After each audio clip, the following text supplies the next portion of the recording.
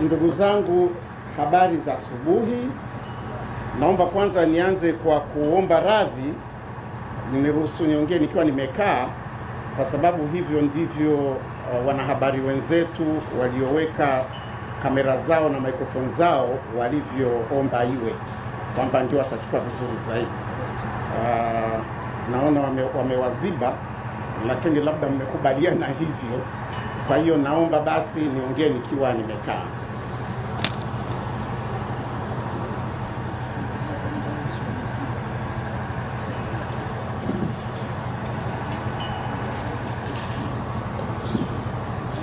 Kabla ya kuanza, naomba naomba wachunguzi wa ripoti ya Clouds Media Group wali naomba waje hapa mbele. Wetu waliotafiti na kuandika ripoti ya hali ya vyombo vya habari mwaka 2016 nao waje wajumuike nasi hapa mbele.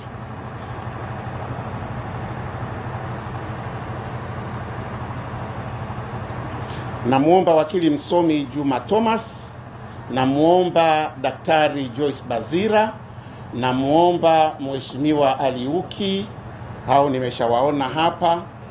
Uh, kuna mwingine karibuni. Uh,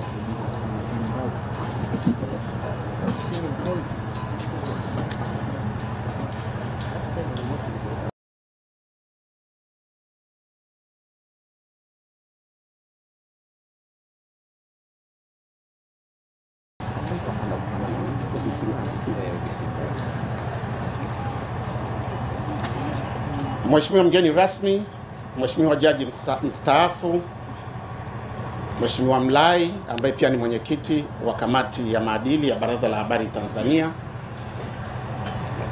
waheshimiwa wageni kutoka balozi mbalimbali mliokuja kujumuika nasi hapa,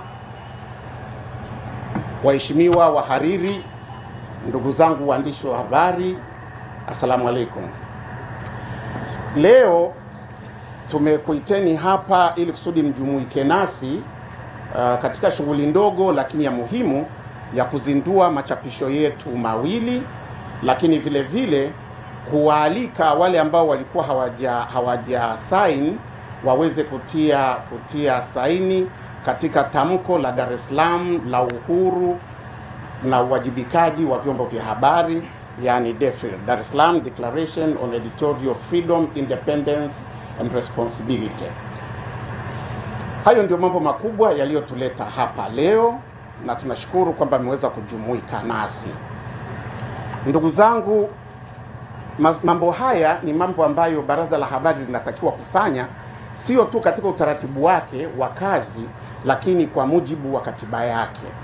Katiba yake imeainisha mambo haya, na nadhani mheshimiwa jaji ataliongelea hilo, atalifafanua hilo, lakini haya ni mambo ambayo tunatakiwa kufanya kwa mujibu wa katiba ya Baraza la Habari. Vinginevyo tutakuwa hatukuitendea haki, hatukuyatendea haki maagizo maagizo ya ya ya, ya, ya, ya katiba. Sasa nianze na maelezo kidogo tu kuhusu State of the Media Report. Kama alivyotangulia kusema mshereheshaji wetu, walioandika watatoa brief ya hizi ripoti, lakini mimi nataka tu kueleza nafasi ya hizi ripoti katika kazi zetu na historia yake. Chapisho la hali ya vyombo vya habari katika mwaka uliokwisha ni moja ya flagship publications za Baraza la Habari, ni moja ya machapisho muhimu ya Baraza la Habari. Chapisho hili State of the Media Report lilianza kutolewa mwaka 2001. Kuna baadhi ya miaka uh, chapisho hili alikutolewa kutokana na sababu mbalimbali, mbali, lakini kwa kweli lengo ni kwamba kila mwaka State of the Media Report itoke na hii kazi yake ni kuangalia hali ya vyombo vya habari katika nchi kwa mwaka uliopita,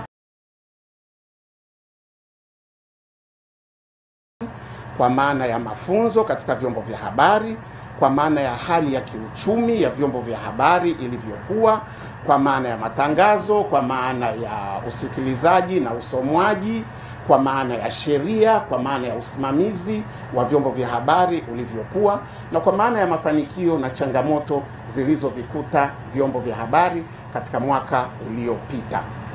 Kwa hiyo ni chapisho muhimu sana kwetu, na tunatumaini kwamba waandishi na wageni wetu mtalichukua na mtakwenda kulisoma, na tunaamini kwamba litasaidia kuweza kuelewa zaidi hali ya vyombo vyetu vya habari ilivyokuwa katika mwaka uliopita.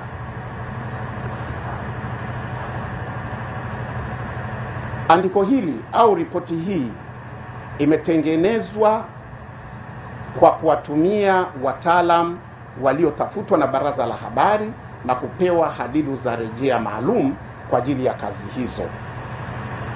Chapisho hili lina nafasi lina, lina sehemu mbili. Sehemu moja inaongelea vyombo vya habari Tanzania bara au Tanganyika, na sehemu nyingine inaongelea vyombo vya habari Zanzibar. Dr. Joyce Bazira alitusaidia kukusanya, kutafiti, kuchambua na kuandika hali ya vyombo vya habari kwa mwaka 2016 kwa upande wa Tanganyika. Bwana Ali Uki alitusaidia kufanya hivyo hivyo kwa habari ya vyombo vya habari vya Zanzibar, na baadaye wataeleza kwa kifupi zile highlights zilizopo katika, katika ripoti yao. Nataka kuchukua fursa hii kuwashukuru sana wataalamu wetu hao wawili pamoja na wafanyakazi wa secretariat kwa kazi nzuri waliofanya mpaka leo tumeweza kupata chapisho hili. Kwa kawaida chapisho hili huwa tunalitoa kunako mwezi wa nne, lakini tumechelewa kidogo kutokana na matatizo ya, ya, ya rasilimali zilichelewa kidogo. Kwa hiyo ndio maana mnaona limeweza kuchelewa mpaka kuja kutolewa wakati huu, limechelewa karibu kwa muda wa miezi minne. Ripoti nyingine itakayozinduliwa leo, ndugu zangu, ni ripoti inayohusu tukio la tarehe 17 Machi katika vituo vya Clouds Media Group. Hili tukio limekuwa mashuhuri sana, limeongelewa sana sana sana. Eh, limekuwa ni tukio lenye hisia nyingi mno kama wote tunavyofahamu, lakini nitake tu kusema hapa kwamba baada ya tukio hili baraza liliamua kufanya utafiti wake huru kuhusiana na kilichotokea. Kama nilivyosema, utafiti huu ni swala la kikatiba kwetu, tunatakiwa na katiba kufanya hivyo, na huu utafiti huu haukufanyika kwa sababu tunayo mahaba maalum na Clouds au tunayo mahusiano maalum na mkuu wa mkoa au, au vyovyote vile.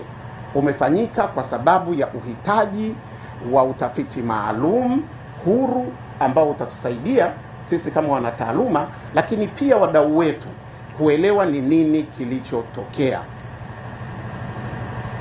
Huu hauta, haukuwa utafiti wa kwanza. Wakati mwenzetu Daudi Mwangosi alivyouliwa, tulituma timu ilifanya utafiti, iliandika ripoti na tuliishia hii ripoti.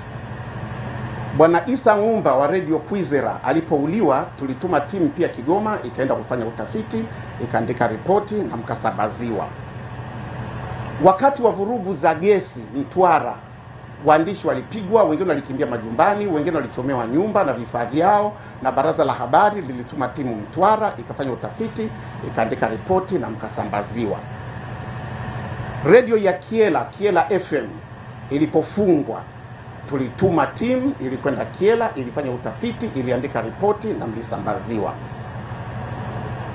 Serikali ilipozuia matangazo mubashara ya bunge la Tanzania, tulifanya utafiti na tulishia ripoti na nyie. Na sasa tukio hili la Clouds tumefanya utafiti na leo tunataka kushare na nyinyi ripoti yetu. Kama nilivyosema, tunatumaini ripoti hii kwa kiasi kikubwa imekuwa objective na imekuwa independent, na mengine nitamwachia nitawaachia walioiandika walioitafiti wataweza kusema zaidi. Lengo la Baraza la Habari kutafiti tukio hili ni moja tu, ni kutazama ni kwa kiasi gani, ikiwa ndivyo, tukio hilo liliingilia uhuru wa vyombo vya habari na uhuru wa uhariri. Basi, to what extent this incident affected or interfered with press freedom in general and editorial independence in particular. Hiyo ndio interest yetu. Kwa hiyo hilo ndilo ambalo sisi tunalo. Hatuna interest na kitu kingine chochote kile, na kwa misingi hiyo sisi kwetu haijalishi kama watu wameelewana, watu wamepatana, watu wakupatana, sisi hilo sio swala letu. Swala letu ni kwamba je, tukio hili kama lilivyotokea lilikuwa lina athari yoyote kwa uhuru wa vyombo vya habari na kwa uhuru wa uhariri? Hilo ndio swali ambalo wataalamu wetu hapa watatusaidia wata, wata leo leo leo kulijibu. Kulikuwa kuna timu ya watu wanne iliyoongozwa na uh, afisa programu mwandamizi wa Baraza la Habari Bwana Justus Mkinga ambaye yeye kwa training ni mwanasheria, lakini timu hii ilikuwa pia ilijumuisha pia wakili msomi Juma Thomas, afisa mstaafu wa polisi kwa sababu ya masuala ya usalama na utaalamu wa usalama na nini, bwana Maximus, Maximus Ubi, Ubisimbali. Sasa naomba Juma Thomas usimame upungie watu mkono.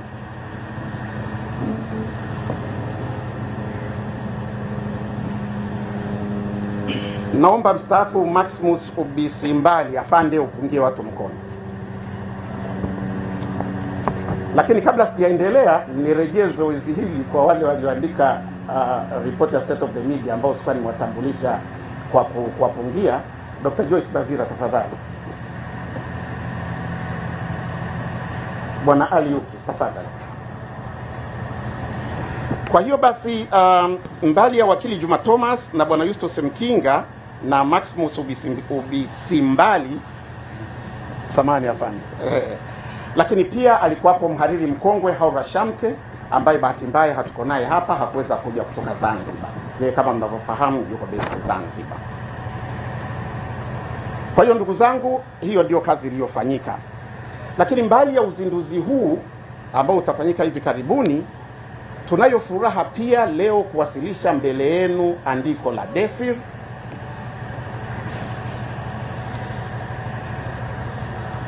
Andiko hili lina kama miaka mitano. Katika mkakati wetu wa mwaka huu na mwaka kesho, tunataka tufanye kazi kubwa ya kuhakikisha kwamba linatafsiriwa katika matendo. Hili ni azimio la Dar es Salaam juu ya uhuru wa uhariri na uwajibikaji. Kuna register pale ilishafunguliwa, watu wana sign na tume tumeifungua na leo iko pale, watu watasign, lakini vile vile kwa wale ambao walikuwa hawajawahi kupata nakala ya, ya DEFIR wata, wataipata leo. The Dar es Salaam Declaration on Editorial Freedom, Independence and Responsibility. Kwa hiyo uh, hii haitazinduliwa kwa sababu ilishazinduliwa, lakini uh, uh, mtaweza kuweka signature zenu, lakini mtaweza vile vile kuichukua. Baada ya kusema hayo, naomba sasa kwa heshima na taadhima nimwalike jaji kisha baada ya hapo aweze kutuzindulia machapisho yetu. Karibu mheshimiwa.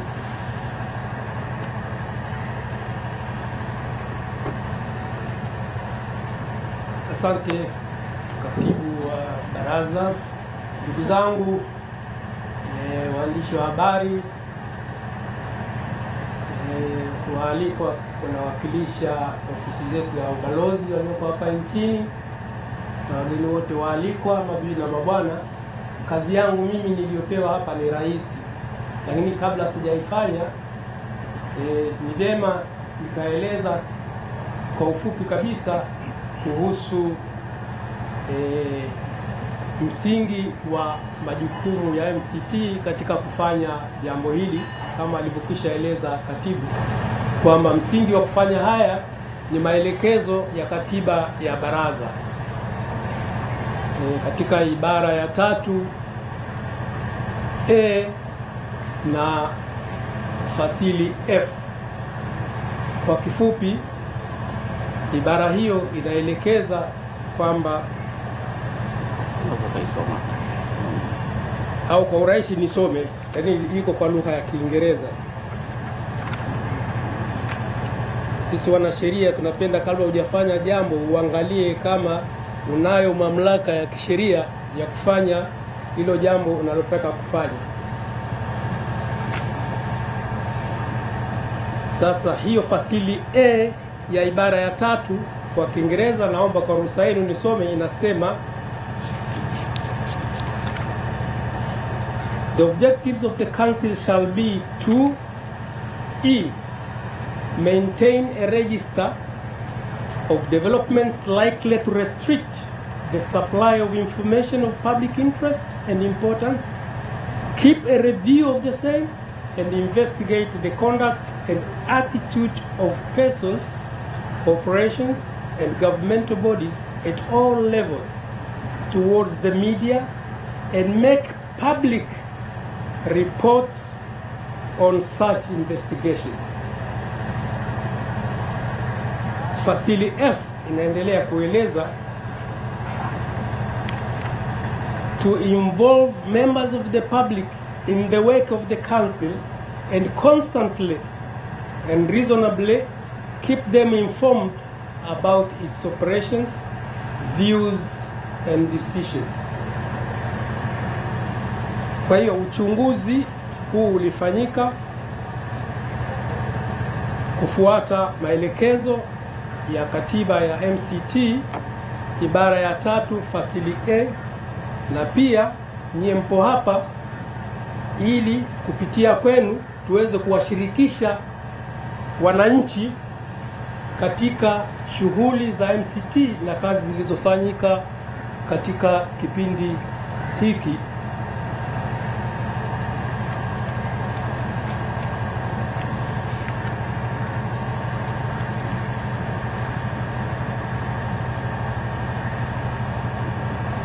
E, shughuli za uchunguzi zilizofanyika kama alivyoeleza katibu ni shughuli za uchunguzi ya tukio lililotokea Clouds TV ambalo limekuwepo sana katika vyombo vya habari, na lengo lake kama alivyosema katibu sio sio kutafuta jambo lingine isipokuwa kuangalia kuhusu jinsi tukio hilo kama lilihusu au liliathiri uhuru wa vyombo vya habari na hasa uhuru wa uhariri.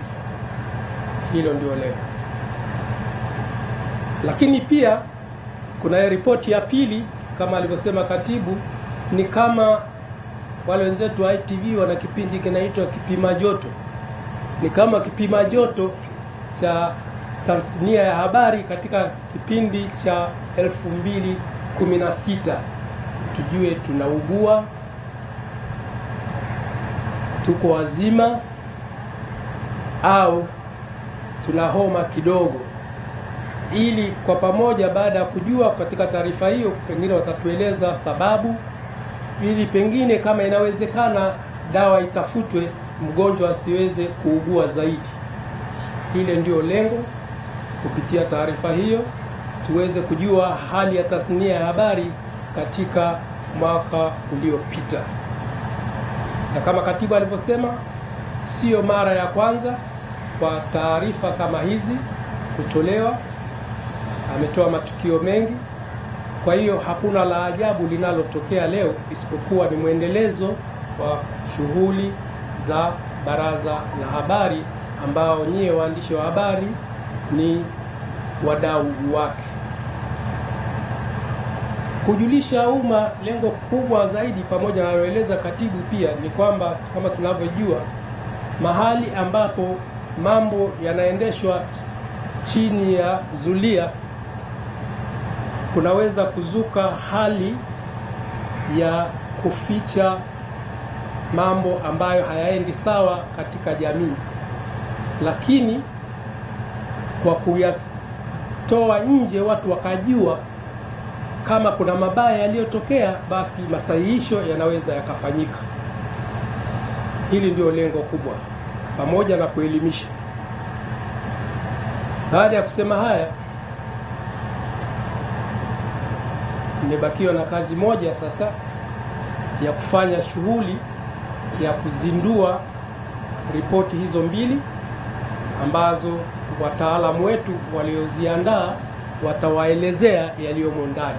Asanteni kwa kunisikiliza.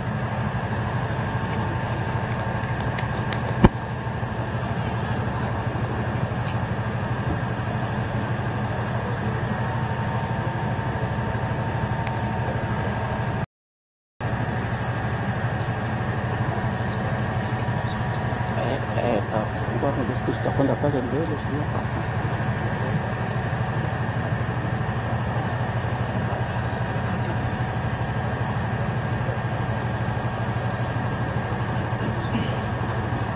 nani, huyu MC sijui, MC wako yuko wapi?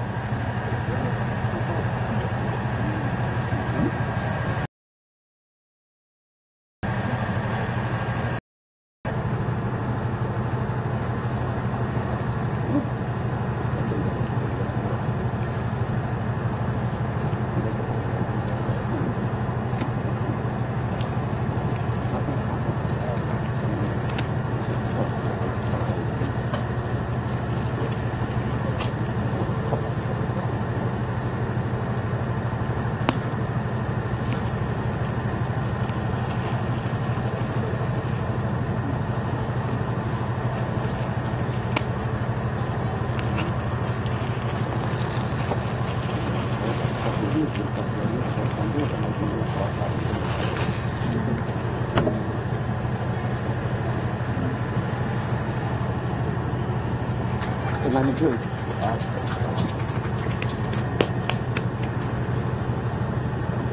Pigeni makofi bwana. Mbona mkiwa kwenye Yanga na Simba mnapiga?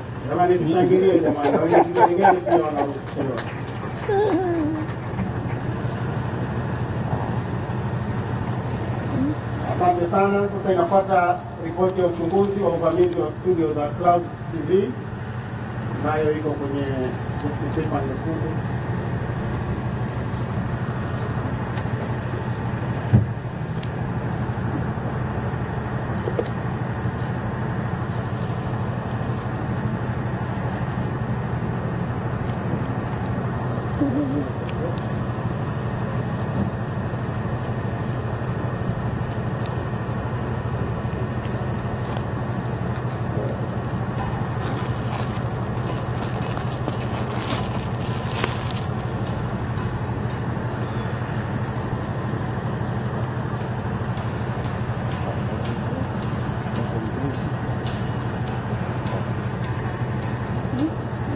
Hiyo ni ripoti ya uchunguzi wa uvamizi wa studio za Cloud. Hiyo hiyo ripoti ina Kiswahili na Kiingereza. Upande mmoja ni Kiingereza, upande mwingine ni Kiswahili. Asante sana mgeni rasmi ya Julai. Tukio linalofuata sasa ni wale wataalamu wetu ambao walituandikia ripoti ya State of the Media aweze kutoa overview ya hiyo ripoti. Baada ya hapo, watapata wataalamu waliofanya uchunguzi, ripoti ya uchunguzi wa uvamizi wa studio za Clouds.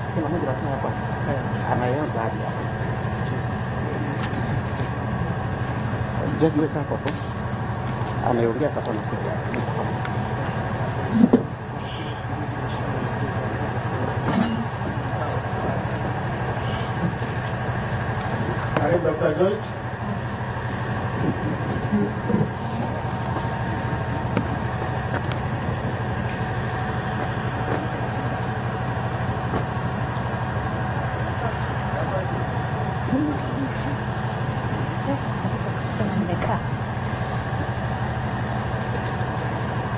Habari ya saa hizi,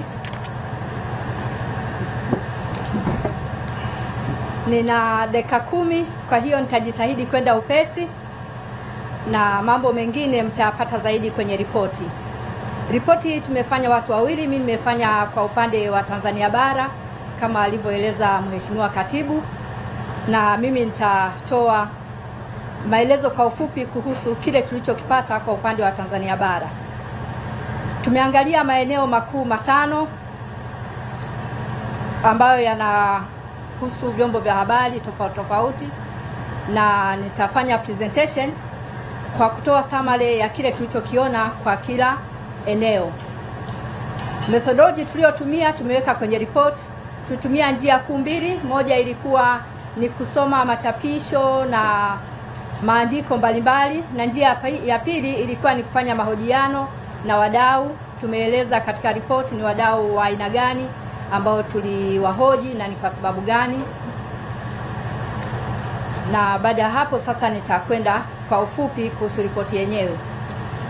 Eneo la kwanza ambalo tuliangalia ilikuwa ni mabadiliko ya kisheria na matukio ya kisiasa yaliyotokea mwaka 2016 na athari zake kwa vyombo vya habari.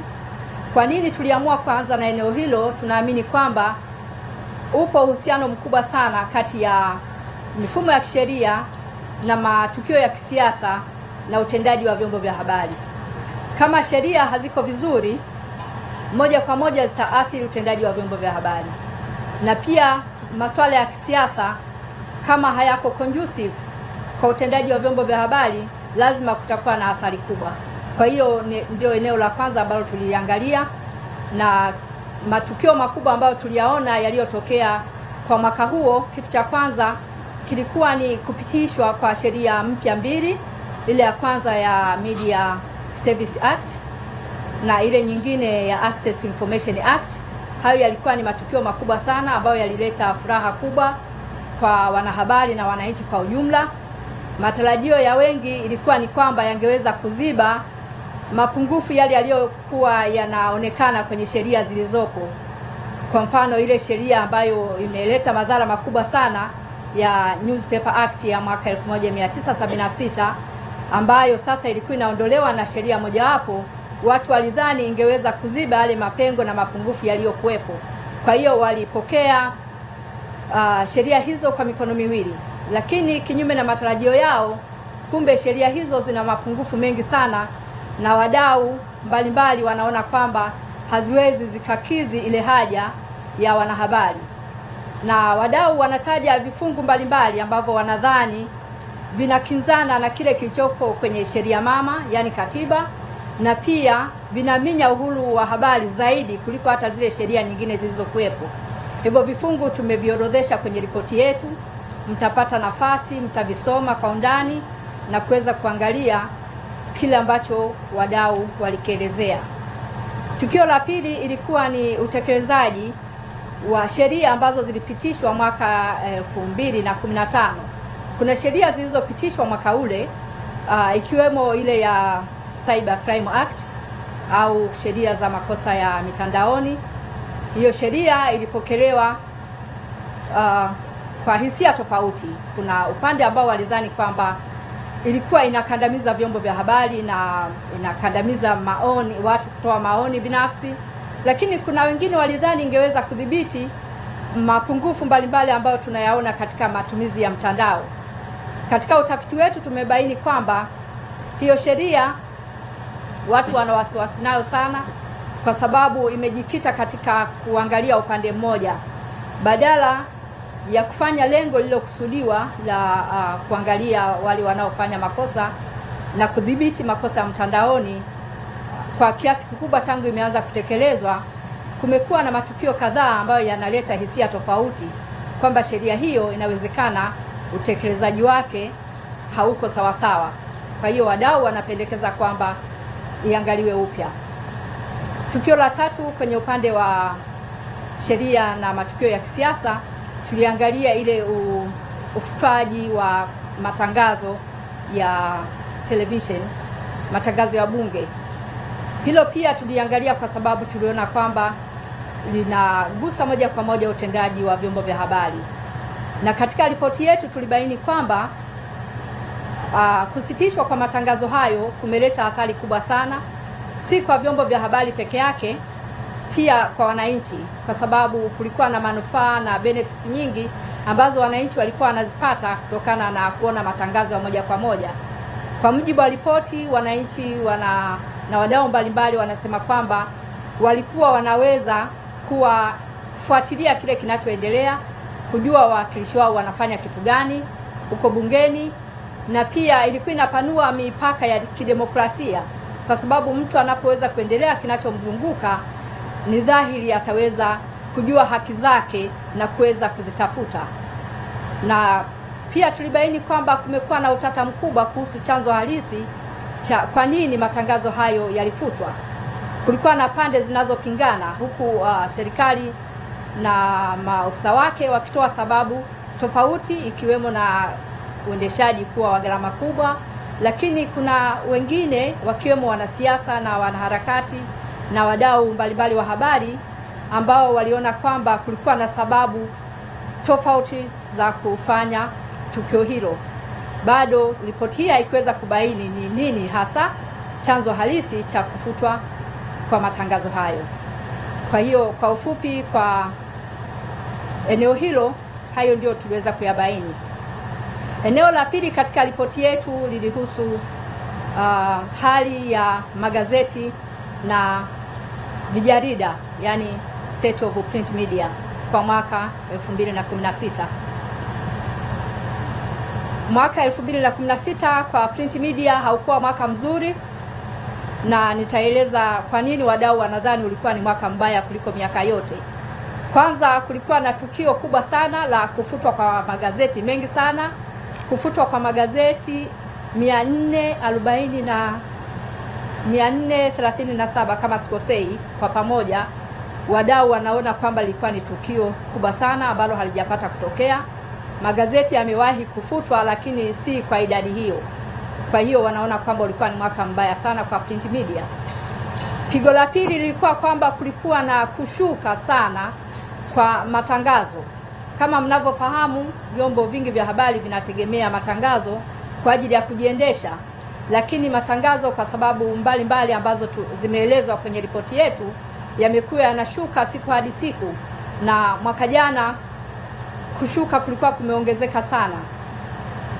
Kwa hiyo hiyo pia ilikuwa ina athiri vyombo vya habari kwa njia moja ama nyingine. Vingine vilishindwa kujiendesha, vingine vilikuwa vinachechemea, vingine vilipunguza wafanyakazi na vingine vilikuwa vinakwenda kimya kimya. Si rahisi watu kueleza waziwazi hali halisi walionayo, lakini uh, wadau wanahisi kwamba hilo la kushuka kwa matangazo liliathiri sana uh, print media. Lakini pigo la tatu ilikuwa ni kushuka kwa usambazaji. Hilo tunalifahamu wote, tuko kwenye media kwamba usambazaji umekuwa ukishuka siku hadi siku. Sababu mojawapo ambayo imeelezwa na wadau ni kwamba hii ongezeko la mitandao ya kijamii imechangia kwa njia moja ama nyingine ya watu kutotaka tena ku, ku yani magazeti si njia pekee kama ilivyokuwa zamani ya kupata habari za kina. Wanaweza wakazipata kutoka kwenye mitandao ya kijamii kwa haraka na kwa bei nafuu. Kwa hiyo hilo limechangia kushuka kwa usambazaji wa magazeti. Swala la pili, tunafahamu miundombinu ambayo ni duni.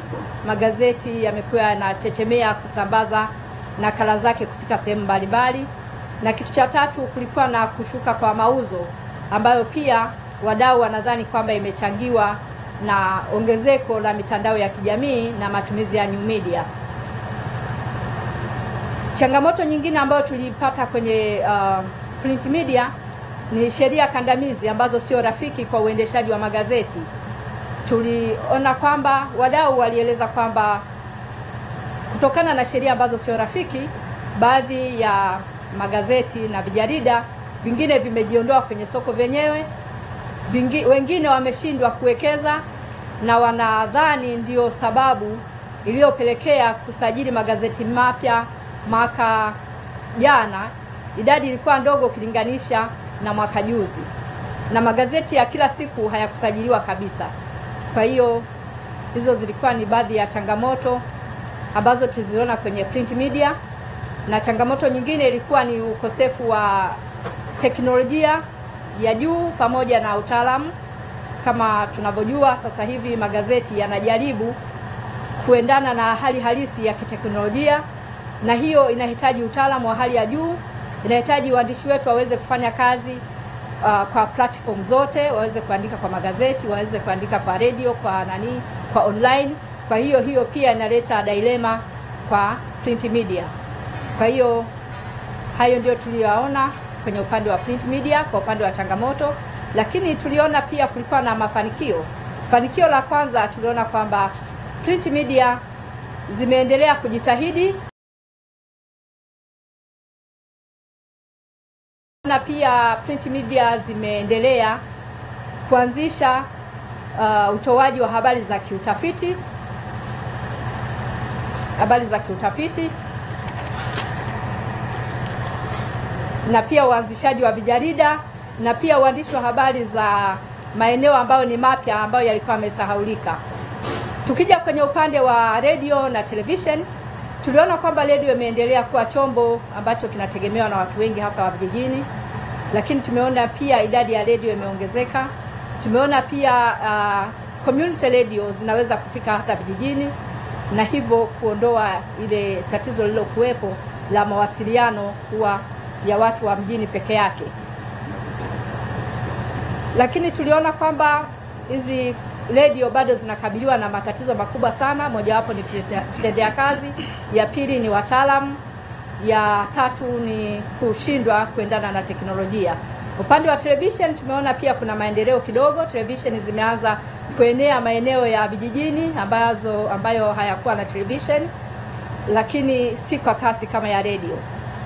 Tukija kwenye upande wa new media, tumeona new media sasa zinaanza kuji, kujiimarisha kama chanzo cha mawasiliano, na tunaona tumeona kwamba new media zimeanza kuchukua majukumu ambayo yalikuwa na yalikuwa yanafanywa yanafanya na vyombo vya asili, kitu ambacho kimeleta dilema kwenye utendaji wa vyombo vya habari vya asili. Na tukija kwenye swala la mwisho ambalo tuliangalia ilikuwa ni mikakati ya maendeleo kwa vyombo vya habari. Ni taasisi zipi zilizopo zinazosaidia maendeleo ya vyombo vya habari, zinatoa misaada ya aina gani, na wadau wanasemaje kuhusu hiyo misaada inayotolewa na taasisi hizo.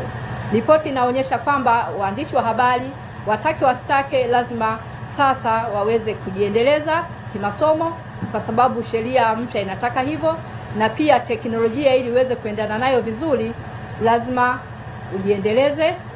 Lakini tumeona taasisi zilizopo ni chache na pia hazijaweza kutosheleza mahitaji ya waandishi ambao ni wengi, na tumeona kwamba bado kuna mahitaji makubwa hasa kwa waandishi wa mikoani na waandishi wanawake, na tumeona kwamba uh, waajiri lazima washirikiane sasa na taasisi zinazosaidia waandishi kwa ajili ya kuangalia maeneo yapi ambayo ni nyeti na yanatakiwa yafanyiwe kazi haraka iwezekanavyo. Kwa ufupi, ndio hayo maeneo tuliyoyaangalia. Ripoti imeeleza kwa kina, mna mnaweza mkaipitia vizuri, au kama kuna maswali, kama muda unaruhusu, mtaweza kutuuliza. Asante.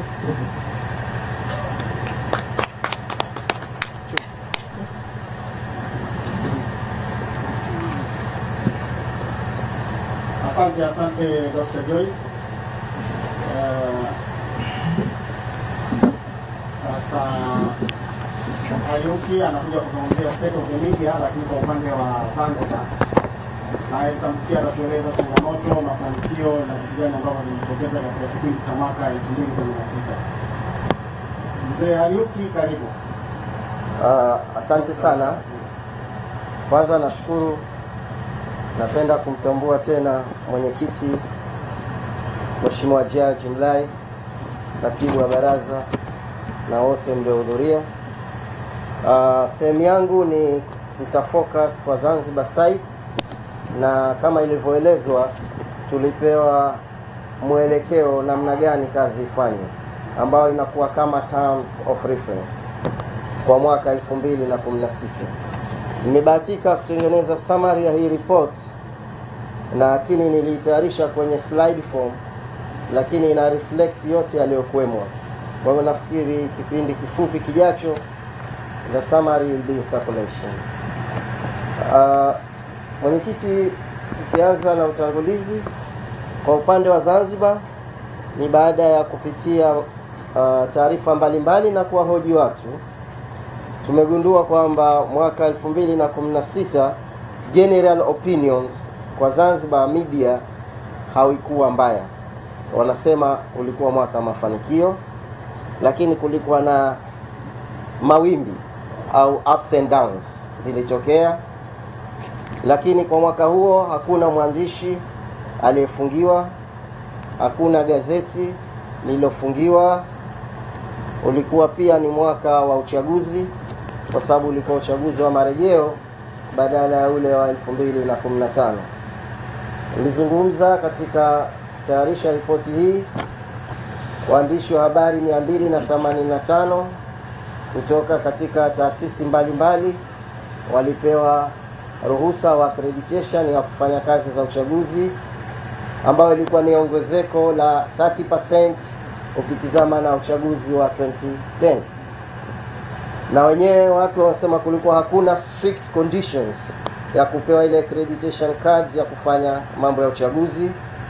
Hakukuwa na kesi yoyote iliyokuwa filed against journalists au institution wakati wa uchaguzi, na ulikuwa ni mwaka wa uchaguzi, lakini uchambuzi inaonekana media ambayo hii inaweza ikakava na bara pia kwamba walifanya less media coverage kwenye election, kwa sababu elections report na analysis inaonekana waandishi au media zina focus kwenye ile voting day, lakini wamesahau kuna pre-elections na kuna post-elections.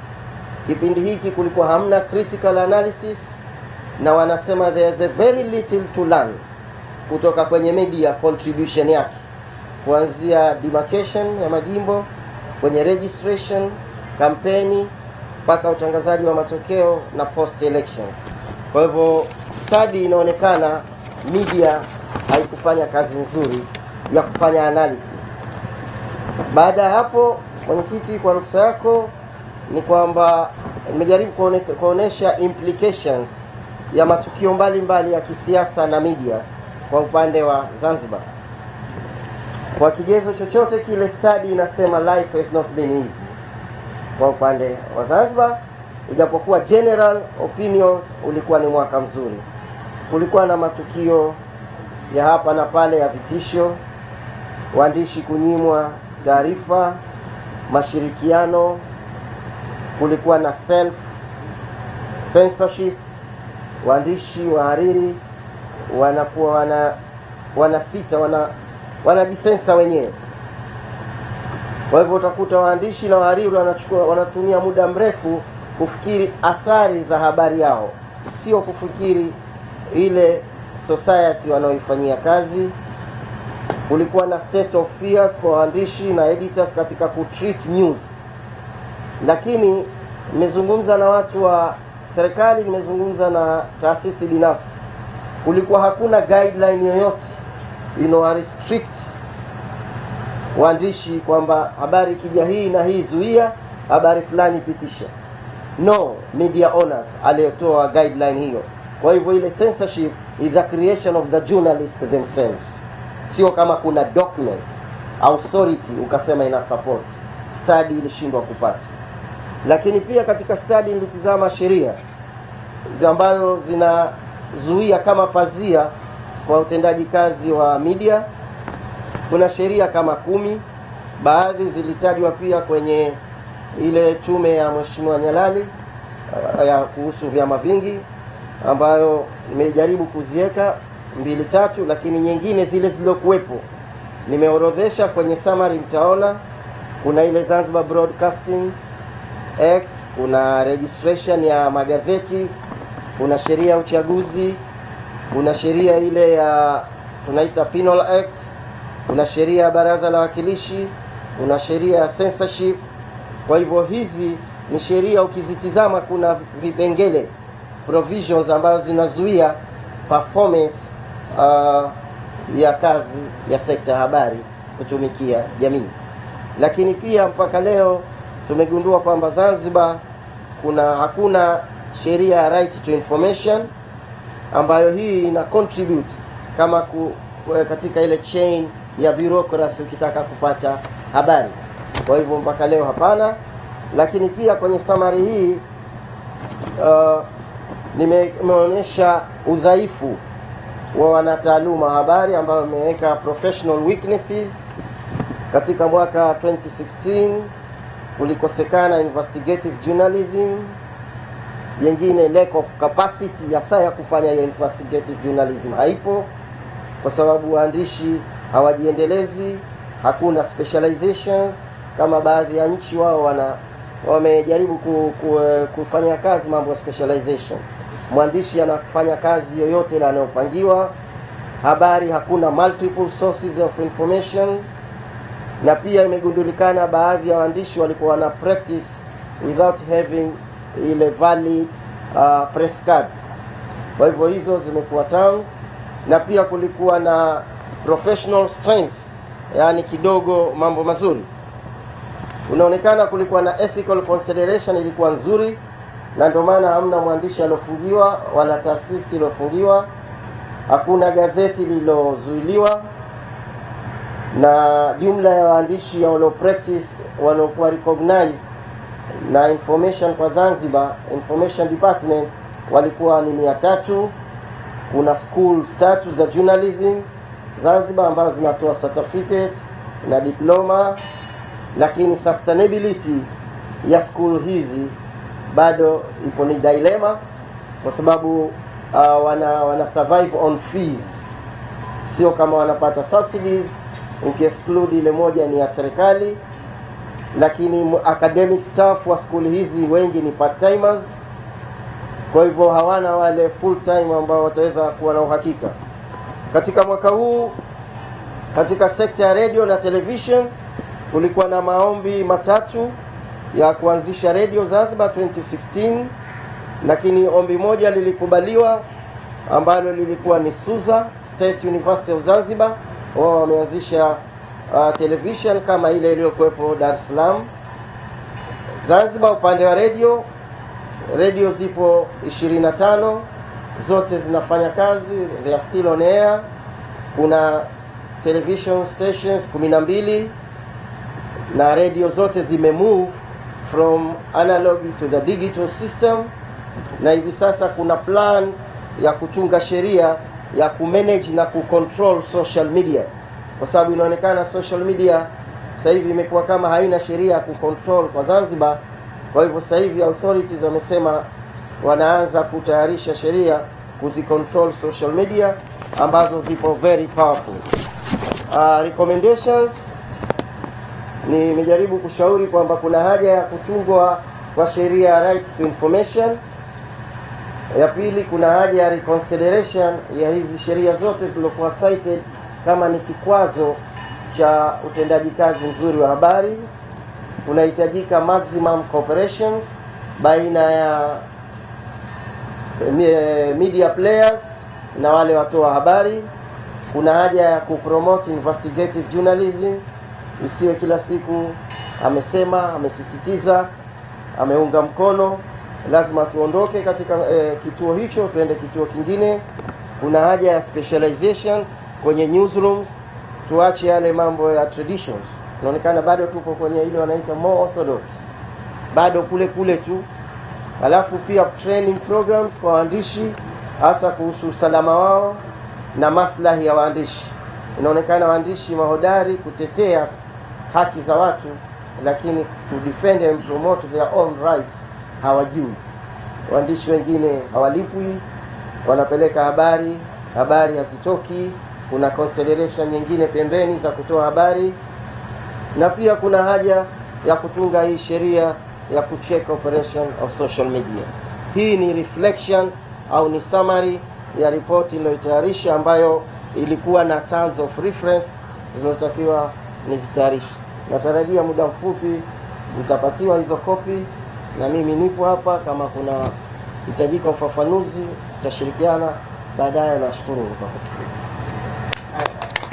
Asante sana Ayuki. Ayuki ni mwandishi wa habari na pia ni mwanasheria na ni mwalimu kutoka chuo kikuu kule Zanzibar. Uh, Mheshimiwa Ayuki, tunashukuru kwa hiyo summary. Sasa tumkaribishe Juma Thomas kwa ajili ya ripoti ya Cloud. Juma Thomas naye ni mwandishi wa habari, na mwandishi wa habari mkongwe, lakini pia ni mwanasheria. Kwa hiyo utaona wanasheria na waandishi wa habari ambao wameshiriki kwa kiasi kikubwa katika hizi ripoti zetu. Mzee Juma, karibu. Asante mwenyekiti, Jaji Mlai na katibu wa baraza, ndugu waandishi wa habari na wageni waalikwa, ripoti hii kama alivyosema katibu ina iko kwa Kiswahili na kwa Kiingereza. Mimi nitakuwa very brief, lakini information zote ziko kwenye hii ripoti. Baraza la Habari lilitupa jukumu la kufanya uchunguzi wa kilichotokea Clouds Media Group tarehe 17 Machi 2017 ambapo mkuu wa mkoa wa Dar es Salaam Mheshimiwa Makonda alienda studio usiku akiwa na ameambatana na askari Ah, kwa hiyo kwa tukio hilo tukapewa kazi na baraza la habari kuchunguza kilichotokea na madhara yake ni nini hasa kwa vyombo vya habari.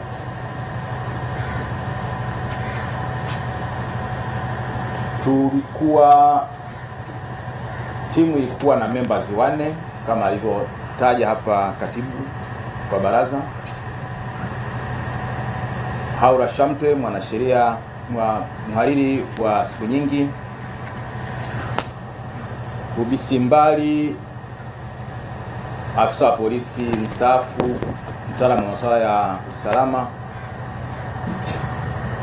na mimi Juma Thomas, mwanasheria pamoja na afisa kutoka MCT.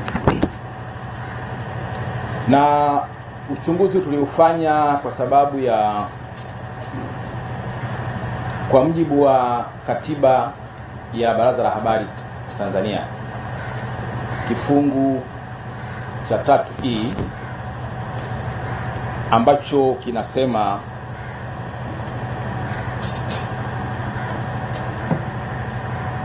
baraza, malengo ya baraza, moja ya malengo ya baraza Baraza lina mamlaka ya kurekodi matukio yanayoweza kukwaza upatikanaji wa habari muhimu kwa umma kupitia na kuchunguza mwenendo wa tabia za watu, mashirika na vyombo vya kiserikali katika ngazi zote kwa vyombo vya habari na kutangaza ripoti za uchunguzi huo kwa umma.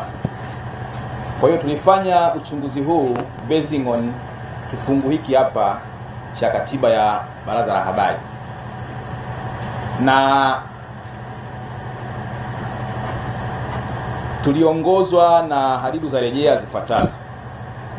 Kwanza, kuchunguza kilichotokea Machi 17, 2017 katika studio za Clouds Media Group, kubaini askari walioambatana na mkuu wa mkoa usiku huo, kutoa mapendekezo yatokanayo na uchunguzi, kuandika ripoti ambayo ndo hii hapa mshaiandika, na hatimaye kuwasilisha ripoti mbele ya wadau kama ambavyo tunafanya sasa. Timu ya uchunguzi ilitembelea studio za Clouds Media Group hasa maeneo ambayo Mheshimiwa Makonda alipita. Timu pia ilipata nafasi ya kufanya mahojiano na wafanyakazi wa Clouds Media Group. Ilifanya mahojiano na RPC wa Kinondoni. Ilifanya ma mahojiano na maafisa wa TCRA. Ilifanya mahojiano na mwenyekiti wa Tume ya Haki za Binadamu na Utawala Bora pamoja na waandishi wazoefu wa siku nyingi.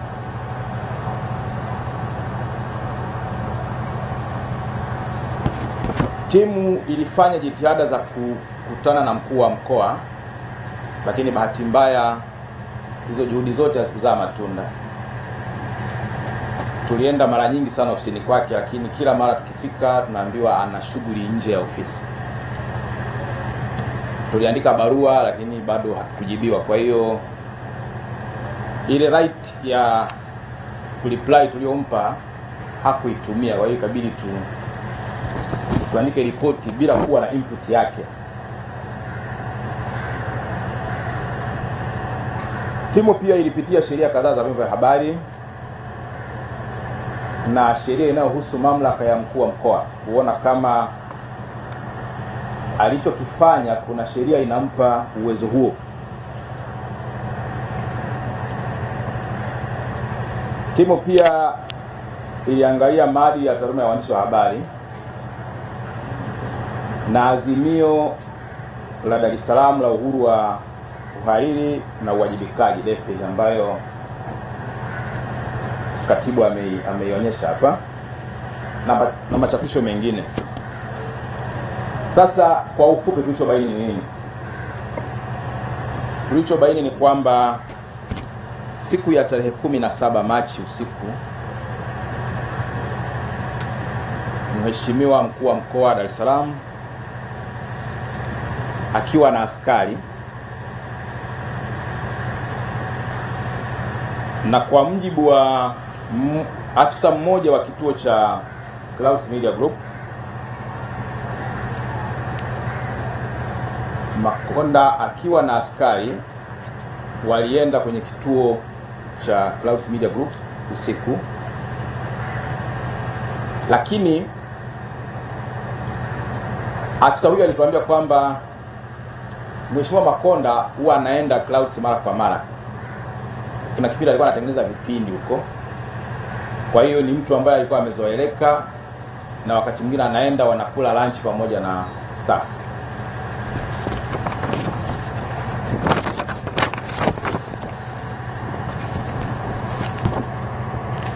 Lakini mlinzi wa zamu siku hiyo ambaye alikuwa zamu anasema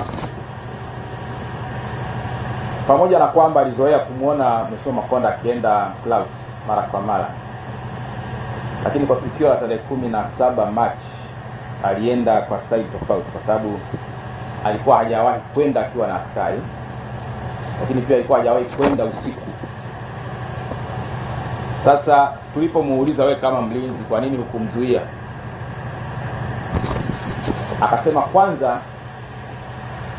hakumzuia kwa sababu mbili. Sababu ya kwanza alifahamu kuwa ni mtu ambaye amezoea pale kituoni, anaenda mara kwa mara, lakini cha pili, ile presence ya askari ilimtisha, akaona ha hana uwezo wa kuweza kumzuia mkuu wa mkoa na akiwa na, na askari wale, kwa hiyo akaacha waka, wakaingia. Sasa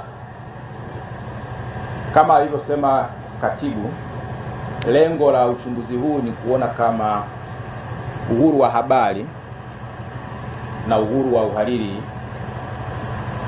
uliingiliwa kwa namna yote ile na na kitendo cha mkuu wa mkoa kwenda studio za Clouds Media Group.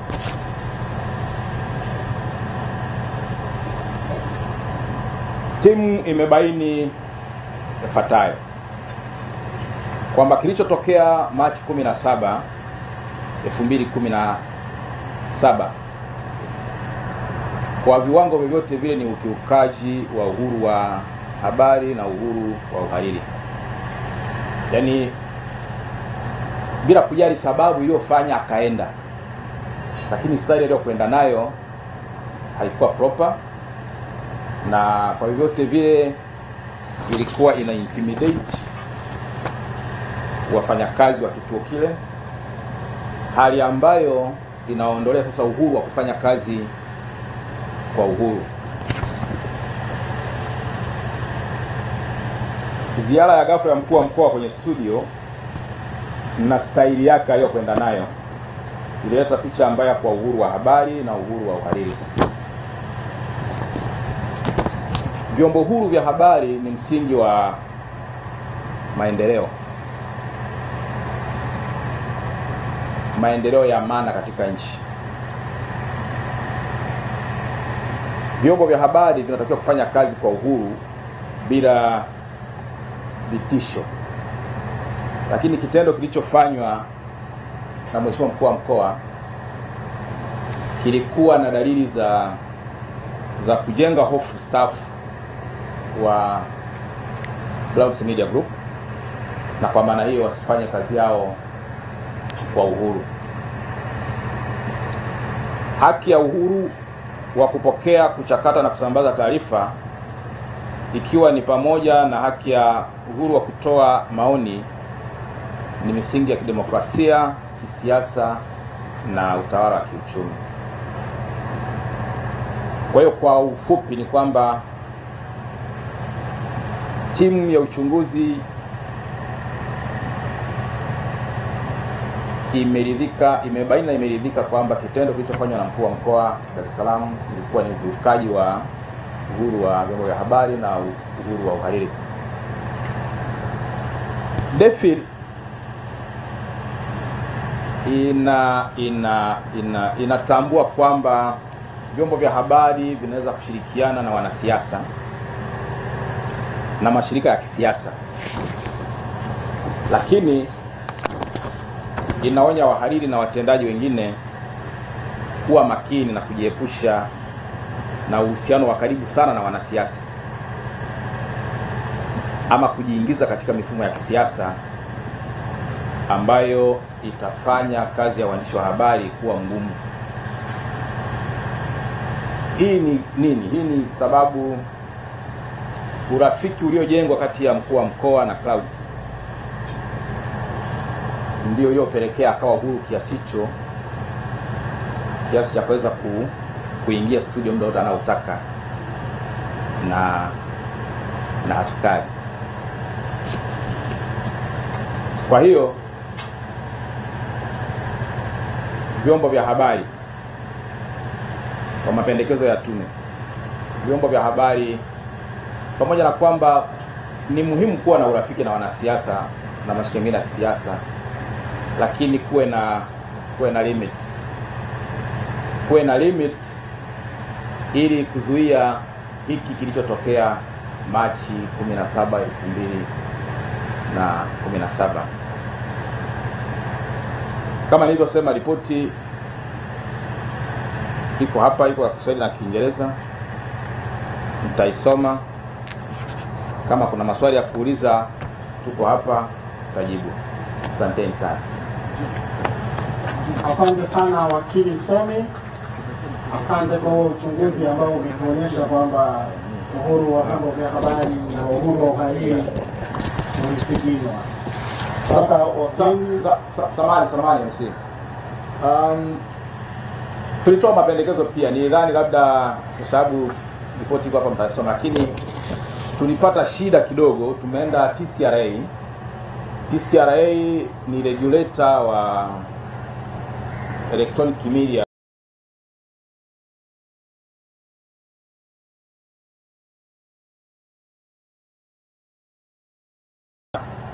cha kufanya, lakini tukajiuliza eh, Clouds ikimuoffend ikimuoffend mteja akaenda ikimofendi mlaji akaenda kulalamika TCRA, TCRA inaishughulikia kituo cha television au redio. Sasa iweje kituo cha television au cha redio kimekuwa offended, lakini regulator anasema hana hana mamlaka.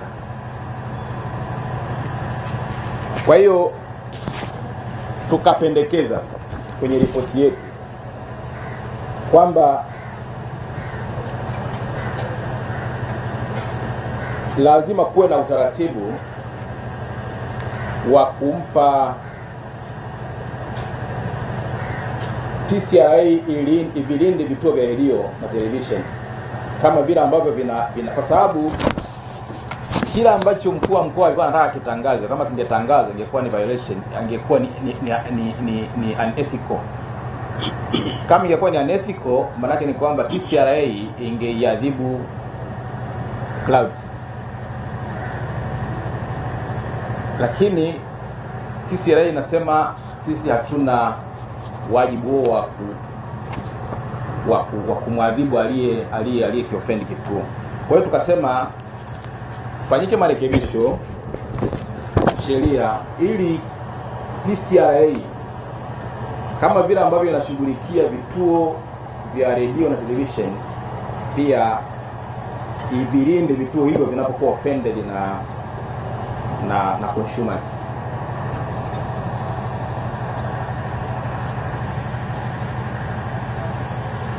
Asanteni.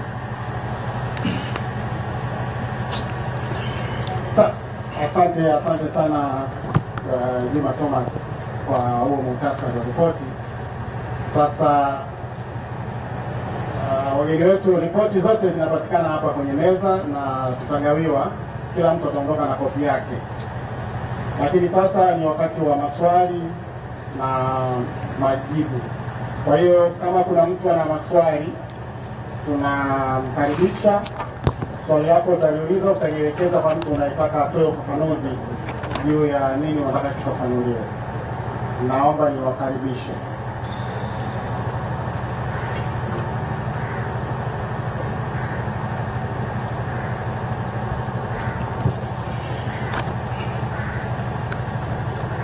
Naitwa Yamola, naandika gazeti la Tanzania Daima.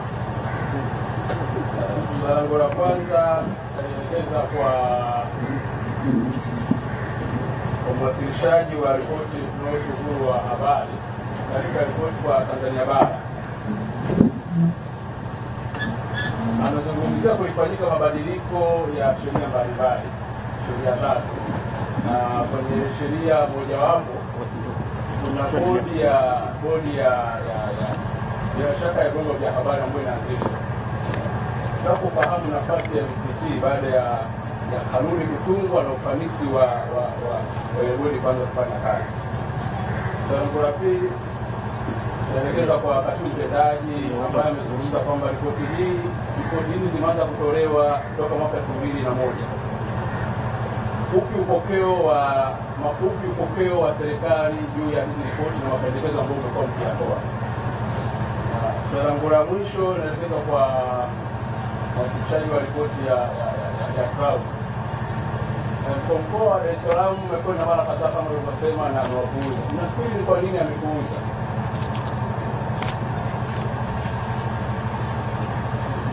Asante, nadhani tupokee maswali kadhaa alafu tujibu, au mnaonaje? Nadhani itakuwa nzuri zaidi. Mwingine?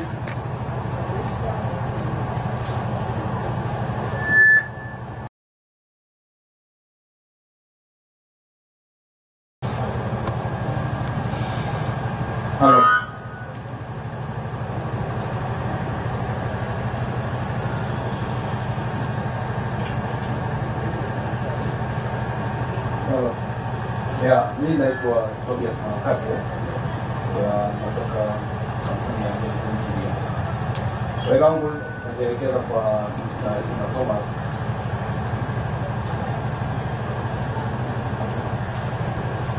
Nitaka kufahamu katika taarifa yake anaeleza kwamba Mheshimiwa mkuu wa mkoa eh, Paul Makonda alikuwa akienda mara kwa mara kwenye kituo cha Clouds na kwamba alikuwa anafanya kipindi pale. Nitaka kujua kipindi gani ambacho alikuwa anafanya kipindi hicho.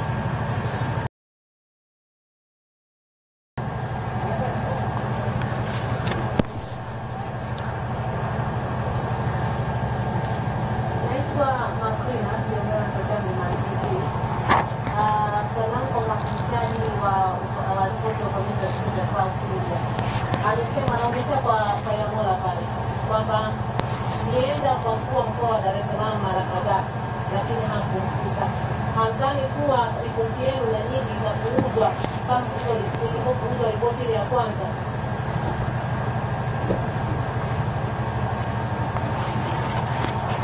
Naomba yeyote ambaye anataka kuondoka mapema asiache kuchukua nakala za ripoti, nakala za ripoti yake. Uh, tayari ripoti imeshazinduliwa, it's public, kwa hiyo mna haki ya kuchukua na kuwachukulia hata wenzetu kwenye vyombo vya habari. Asante. Asante.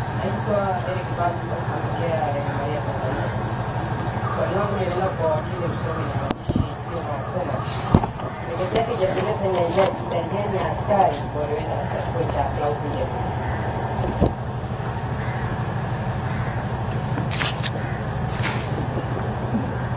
Uh.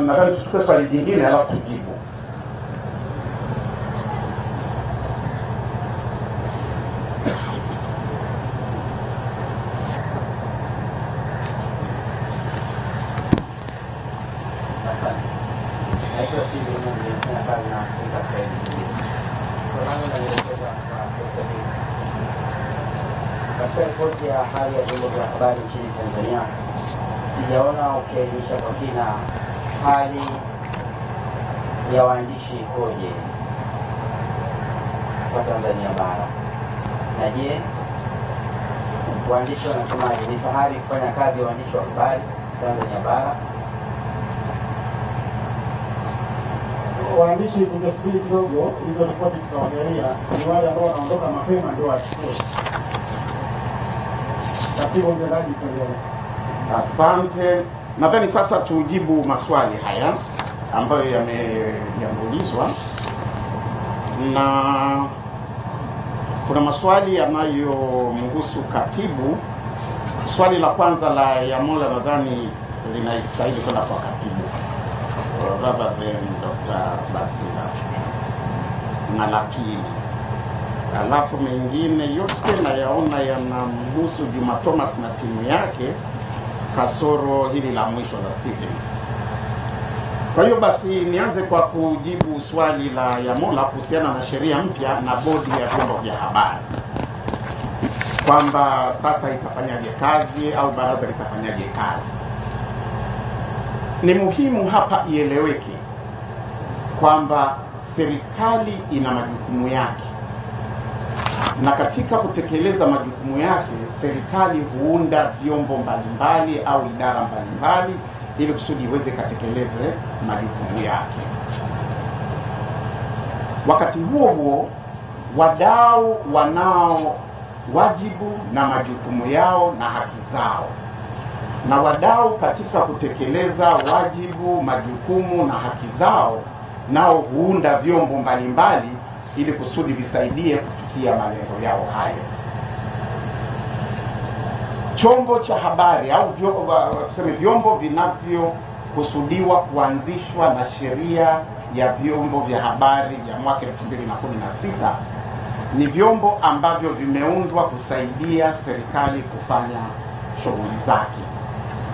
Vitakuwa na mandate yake, vitafanya mandate yake kama jinsi vinavyoagizwa na sheria, na baraza la habari litaendelea kufanya kazi zake kama jinsi linavyoagizwa na katiba yake, kwa maana hiyo kama jinsi lilivyoagizwa na wadau. Na hili si jambo jipya, hili si jambo jipya. Kama mnavyojua, kwa mfano, tumekuwa na idara ya habari maelezo, tumekuwa na msajili wa magazeti, tumekuwa na TCRA. Hivi ni vyombo vya serikali, vina majukumu ambayo vimepewa na sheria, vinayatimiza. Pale ambapo shughuli zetu zinashahidiana, tunafanya kazi pamoja. Pale ambapo tunagongana, tunaelimishana, tunakosoana, tunakwenda mbele na pale ambapo shughuli zetu ni tofauti, basi kila mmoja anafanya chake kama jinsi alivyoelekezwa na sheria au na katiba yao. Kwa hiyo haina tatizo, haina tatizo kabisa. Kama kuna vitu hatukubaliani navyo, tutaendelea kusema tukubaliane navyo. Kama kuna vitu tuko pamoja, tutaendelea kufanya kazi pamoja, kwa sababu wote tunajenga tunajenga nyumba moja. Upokeo wa serikali kwa ripoti mbalimbali tangu mwaka elfu mbili na moja mimi nadhani pia tujiulize upokeo wa tasnia ya habari kwa ripoti hizi. Tujiulize pia upokeo wa tasnia ya habari. Serikali ukiniuliza, haijachangamkia sana hizi hizi hizi taarifa, kwa sababu kuchangamkia taarifa ni pamoja na kuona mapendekezo na kuyafanyia kazi, na kama kuna mapendekezo ambayo ikubaliani nayo, kusema kwamba yasikubaliani nayo. Lakini hilo halijatokea. Lakini mimi napenda tujitazame sisi wenyewe zaidi, tunafanyia kazi mapendekezo ya ripoti hizi kabla hata serikali hatujauliza inafanya nini, tujitazame wenyewe tunajifanyia nini katika vyombo vya habari na katika taaluma yetu na tasnia yetu. Kuna mapendekezo yanayohusu kuboresha utendaji wetu. Kuna mapendekezo yanayohusu yanayohusu uh, kuboresha uh, mazingira tunayofanyia kazi. Kuna mapendekezo yanayohusu kuboresha hali ya kisheria na kadhalika na kadhalika. Sisi tunafanyaje kazi, ikiwa ni pamoja tu na hata kuanza kuiripoti ripoti yenyewe hata kuiripoti ripoti, kuiweka hadharani ripoti yenyewe kwa kupitia vyombo vyetu vya habari. Tunatimiza jukumu hilo kwa kiasi gani? Ni muhimu sana, kwa sababu usipojijali mwenyewe usitegemee sana mtu wa pembeni akujali. Kwa hiyo basi, tuweke nadhiri kwamba kuanzia ripoti hii tutaanza kuisoma, tutaichambua, tutaiandikia na tutatimiza yale ambayo tunakubaliana nayo na kutoa ushauri zaidi.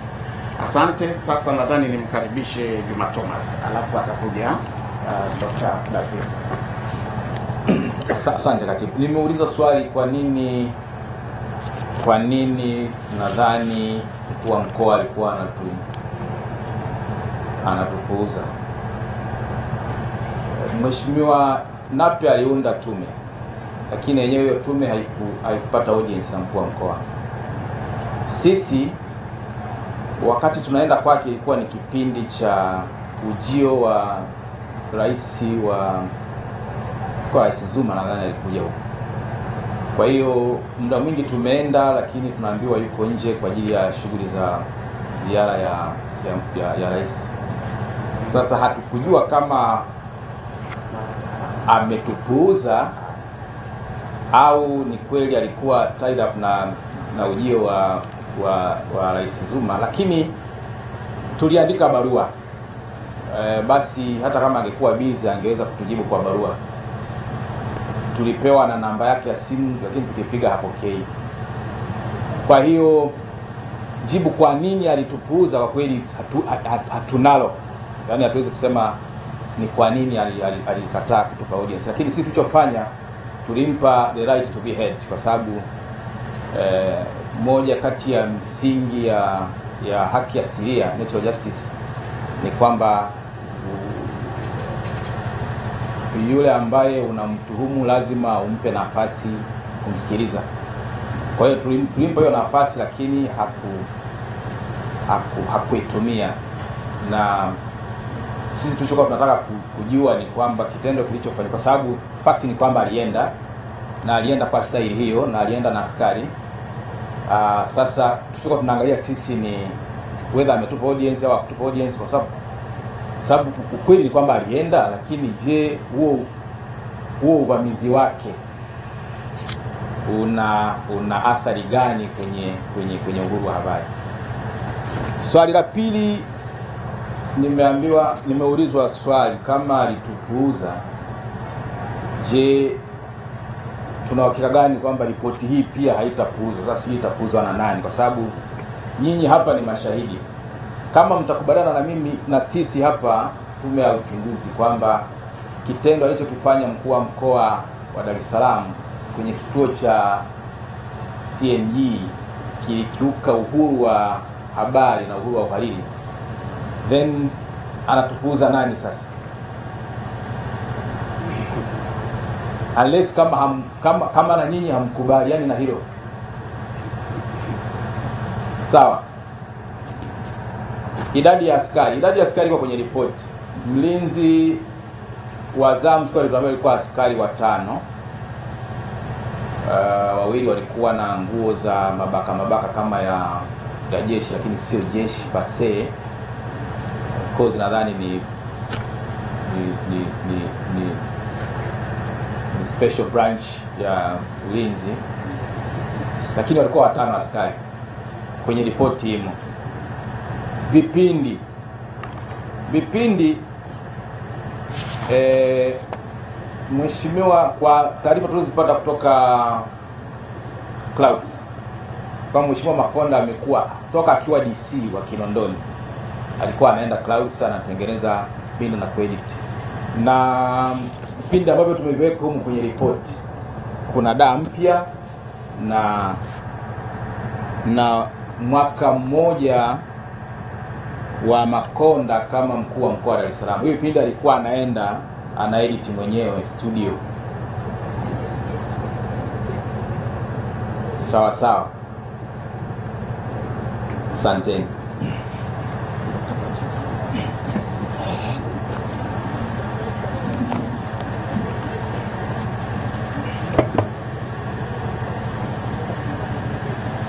Nashukuru swali la kwanza Mheshimiwa Katibu amelijibu, lakini na nyongeza kidogo. Sheria yenyewe ilipitishwa mwishoni mwa mwaka jana, kwa hiyo utekelezaji wake umekuwa mwaka huu, na ripoti yetu ilikuwa ni kuangalia mwaka jana tu. Kwa hiyo hata kama katibu asingelijibu, ningesema scope ya kazi yetu ilikuwa haiangalii yale yaliyotokea mwaka huu. Swali la nne ambalo limeelekezwa kwangu ni kama tuliwahusisha waandishi wa habari. Nashukuru kwa kuuliza hilo swali. Kama nilivyosema mwanzoni, wakati natambulisha methodolojia tuliyotumia, tumesema tuliongea na wadau mbalimbali, na wadau wakubwa kwenye articles zote hizi, waandishi wa habari wamo lakini kusema kwamba kwenye tafiti unaweza ukaenda kwa mwandishi mmoja mmoja huwa ni kitu ambacho hakiwezekani, lakini waandishi wa habari walishirikishwa, baadhi nawaona hata humu ndani, wengine kupitia vyama vyao vya kitaaluma, wengine wao moja kwa moja, ili mradi tulikuwa tunaamini kwamba wataweza kujibu maswali yaliyokuwa yanaboresha ripoti yetu. Lakini kuwauliza specifically swali ambalo umeuliza wewe hatukuwauliza. Kwa sababu hilo lilikuwa halijibu kile tulichokuwa tunakitafuta sisi. Asante.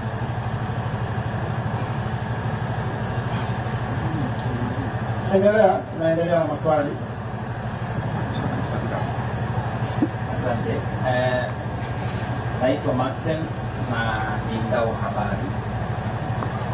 Eh, kwanza niwapongeze kwa kazi nzuri iliyofanyika kwa leo, lakini niseme tukio hili tunalo lililotujumuisha hapa, ripoti zote zinatuhusu kama wanahabari, na niseme kwa wale waliotafiti, wapongeze kwa kazi yenu nzuri, japo mlikuwa mnakwekwa huko na kule. Lakini sasa swali langu linakuja, hawa askari walioambatana na huyo mkuu wa mkoa nimesema wengine walikuwa na nguo zenye mabaka mabaka. Naweza mkatueleza hawa walitokea kwenye vitengo gani vya jeshi la polisi au nadhani wametokea upande gani? Maanake hii mmechunguza ripoti na sisi tunaokuwa mtaani tuna Tungependa sisi kama wanahabari tuwe ni nani. Na pili, eh, sasa sijui nitaenda kwa nani, lakini nadhani nilielekeza kwa Kajubi. Eh, sisi kama wanahabari tungependa kupata tamko la pamoja kuhusiana na hii ripoti ya Clouds. Clouds ni chombo cha habari, sisi ni wanahabari na vyombo vyetu vyote viko katika hali ya kuelekea kwenye matatizo kama yale. Sasa swali, tunaishia kuzindua ripoti tu au kuna tamko la pamoja dhidi ya mkuu wa mkoa wa namna hii na wateule wengine wa rais wenye kutumia vibaya madaraka yao kwa vyombo vya habari?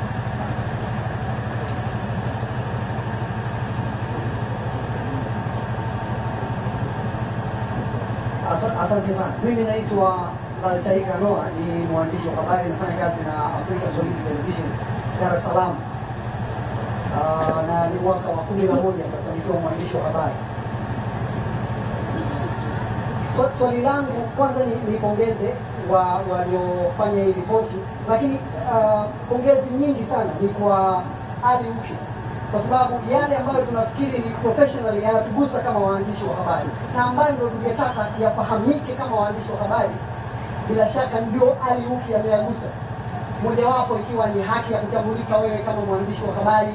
Amezungumzia masuala ya, ya, ya kuwa na ile value press card. uh, uchaguzi wa marudio mwaka jana, au wenyewe wanasema wa marejeo wa Zanzibar, nilikuwepo nilipata ile press card ya hapa uh, Tanzania bara, na nilipofika kule nikaonyesha, nikapewa ile ya muda fupi na nikapewa zingine zote, pamoja na mambo mengine kama hayo. Tunataka haswa ripoti hii ya uh, Dr. uh, Joyce pia na wewe pia utueleze professionally waandishi wa habari wamekuswaje eh, na, na, na, na mambo mbalimbali huku Tanzania bara. Ya kwako haijafafanua vizuri, na ndio maana nikaanza na Ayuki nikasema ya kwako dokta haijafafanua vizuri na haijafafanua kisomi, nachelewa kusema hivi lakini haijafafanua kabisa, na ndio maana waandishi wa habari wanajaribu kuuliza maswali ili angalau uiweke vizuri kama hii ya Zanzibar ilivyoeleza, kwa sababu eh, tusiishie tukuzindua na tukafurahia tu ripoti zimezinduliwa zimezinduliwa, lazima zituguse na wakati mwingine Ndiyo. Kwa hiyo tunaomba hilo ufafanue vizuri, au wakati mwingine hata ikiwezekana MCQ pana hiyo. Hiyo ni sehemu ya kwanza. Sehemu ya pili ambayo ni ndogo, sio kubwa sana, ni kwamba kuna usemi wa Kiswahili unasema atafutaye achoki, akichoka amepata. Na wakati mwingine hata wakati tunaandika stori zetu ili mjaji, ili tupewe zile tuzo, tunataka tutumie misemo na nahau humo ndani ili kunogesha zile stori. Uh, upande wa uchunguzi wa uh, hii ripoti ya mkuu wa mkoa wa Dar es Salaam kwa Makonda kwa nini tumeamua kufikia hapa? Ni maanake tume, tu, hatu, hatu, hatu, tumechoka na na tumepata. Maanake mpaka sasa hivi mkuu wa mkoa bado hatujampata, mpaka sasa hivi bado. Kwa nini isichukue hata miaka mia moja hamsini na nne tuhakikishe tumempata yeye amesema nini, au au tumemchunguzaje au lakini nashangaa na sisi tumekuwa kama mamlaka iliyopewa kusimamia matangazo ya TCRA. Nachelea kusema ripoti yetu kidogo hapo kwenye upande wa kona, na sisi tumekuwa kama TCRA, tunakimbia. Asante. Swali lingine? Haya, tunachukua maswali mawili kwenye meza inajibu. Asante, naitwa Salome Kitomani, ni mwandishi wa habari wa gazeti la Nipashe. Katika ripoti yenu na suala la uvamizi wa Clouds, tumetoa mapendekezo ya mwisho mawili ambao mojawapo naomba nisome kwamba lazima akiri kuwa kitendo chake kilikuwa ukiukwaji wa haki za msingi za waandishi wa habari na uhuru wa vyombo vya habari na uvamizi wa Clouds, studio za Clouds Media Group kwa kutumia walinzi wenye silaha ulikuwa kinyume cha vigezo vya utawala bora. Bwana Makonda pia amedhalilisha jeshi la polisi, hivyo lazima awaombe radhi wa Tanzania. Swali langu liko hapo kwenye kuwaomba radhi wa Tanzania. Mheshimiwa ameshasema wazi kabisa kwamba neno msamaha halitatoka kwenye kinywa chake, lakini mimi tena nimekuja na swala hili, labda lengo ni nini haswa?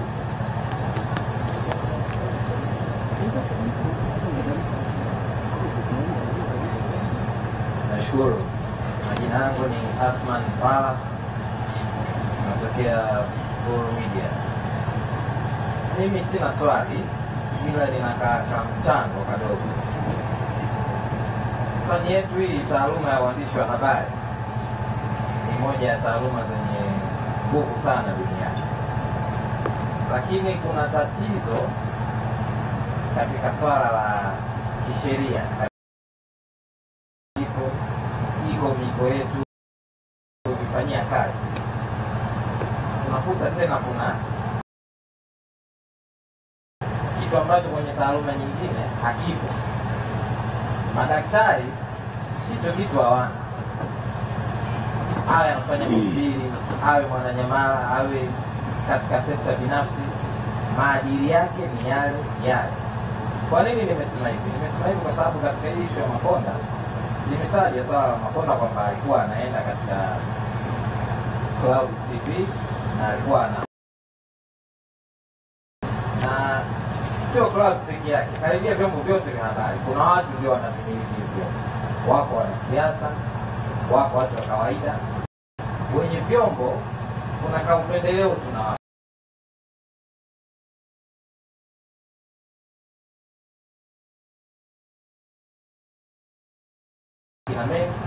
vyote vyombo vyote tunajua, magazeti vyote tunajua. MCT nataka mtuongozi, tuibue mjadala mpana wa kuwa na sheria ya kusimamia vyombo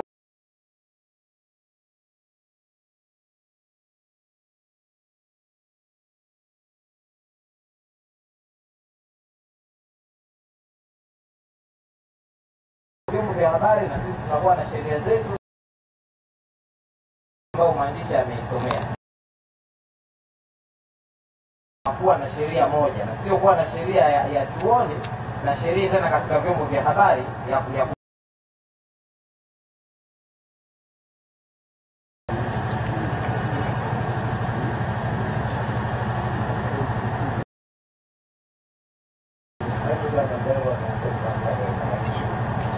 kwamba ni kwanza napongeza tume tume pamoja na studio hilo, lakini nataka nijue nini hatima kama TCRA watu ambao wanasimamia mwenendo na kuangalia kazi nzima zinazofanywa na vyombo vya habari wakifika mahali wakasema kwamba wao hawahusiki na jambo zito kama hili ambalo tukia kwa Clouds na hawezi kusema lolote. Je, kitakapotokea kwenye chombo kingine cha habari, hawa watakuwa ni wadau wenzetu, ni watendakazi wenzetu, hawa watakuwa maadui zetu kama ambavyo tunaona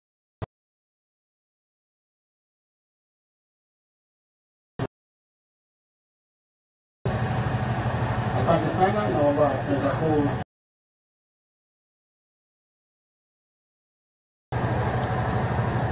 mmoja anaitwa. Tamani sana tungefanya presentation baada ya nyie kusoma ripoti, akaongea mambo yote yaliyoandikwa kuhusu hali ya vyombo vya habari Tanzania bara akayamaliza.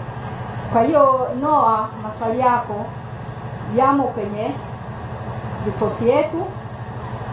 Tumeeleza implication ya kila kitu tulichokisema hapa kwa waandishi wa habari na kwa taasisi wanazozifanyia kazi, kwa sababu huwezi ukasema kuna tukio hili limetokea halafu uache kuangalia implication yake. Lakini kwa kazi kama ilivyokuwa na ukubwa wake, huwezi ukafocus moja kwa moja kwa waandishi peke yao kwa kitu kimoja kimoja, kwa sababu hautaweza, labda utajaza hata vitabu vitatu.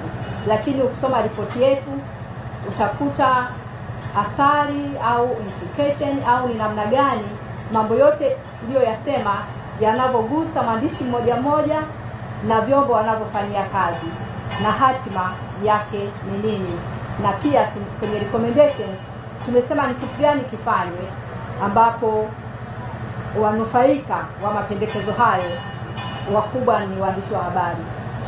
Utasoma ripoti, kama bado utakuwa na maswali unaweza ukauliza. Juma ah, au nani anajibu? Ah, Kwa ufupi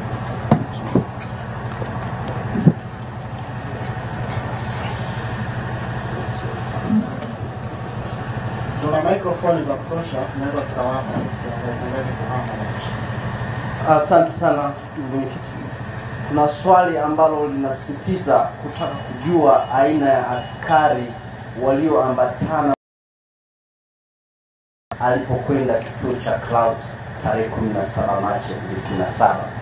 Swali hili limejibiwa kwenye ripoti ambayo tayari imeshazinduliwa. Kwa hiyo naomba ni, nirifai kwenye hiyo kwenye kifungu cha tano, polisi waongea kifungu cha tano kifungu kidogo cha kwanza inazungumzia timu ilichobaini kuhusu wa, wa, walinzi wenye silaha na timu inasema kwamba hiyo timu imethibitisha bila shaka kwamba walinzi wale wali wavamizi siku hiyo walikuwa wanatoka katika jeshi la polisi na wengine kutoka idara ya usalama wa taifa, na bwana Makonda alithibitisha hilo wakati alipohojiwa na Star TV ambapo aliongea kwamba wale anaambatana nao nyumbani ni walinzi wa nyumbani kwake na amepewa kwa ajili ya si tu kama inavyozungumzwa katika kifungu cha tisa, si tu kwa ajili ya kumlinda yeye, bali kumchunguza pia yeye anayofanya. Mtaangalia kifungu kidogo cha tisa kinapozungumziwa pia ziada kuhusu wale walinzi alipohojiwa na Star TV. Asanteni.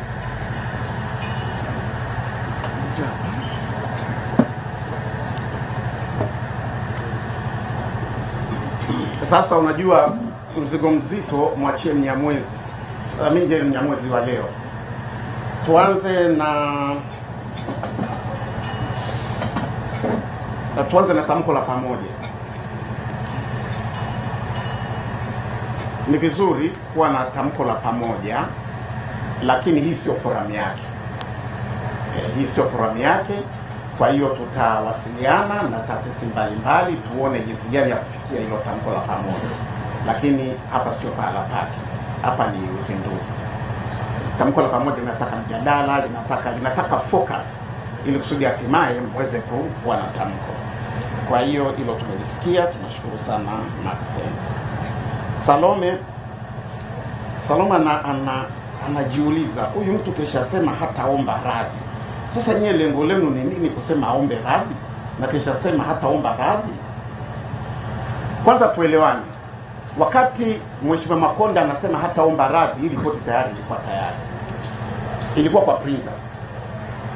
Actually nadhani barua za mwaliko zilianza kutoka siku hiyo, hii ripoti ilikuwa tayari.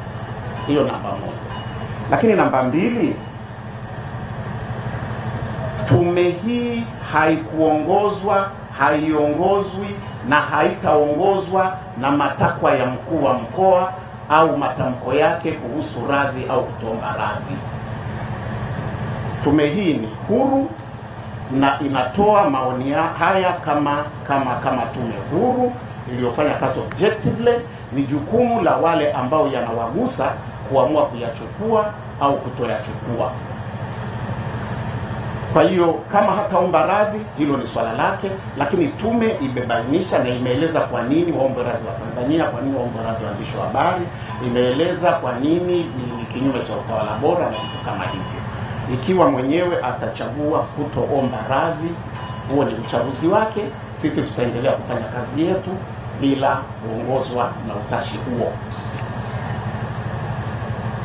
Sasa kuna swala la sera.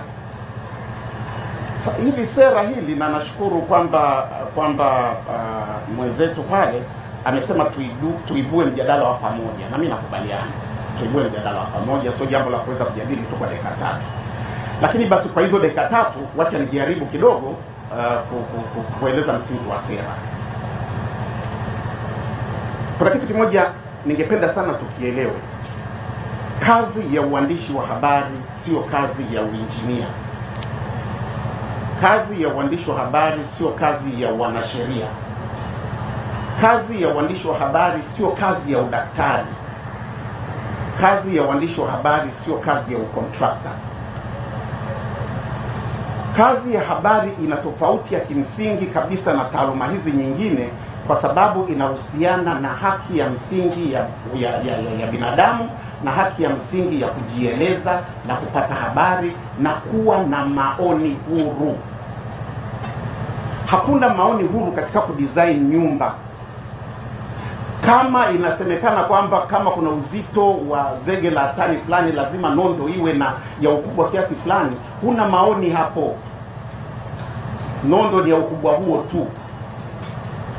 Sasa hii ndiyo inayofanya katika vyombo vya habari kunakuwa na sera, na huwezi ukaondoa sera katika vyombo vya habari, kwa sababu kila chombo cha habari kinachoanzishwa huanzishwa mbali ya malengo ya pamoja ya kucommunicate, lakini huanzishwa kwa malengo ya kuendeleza ajenda fulani.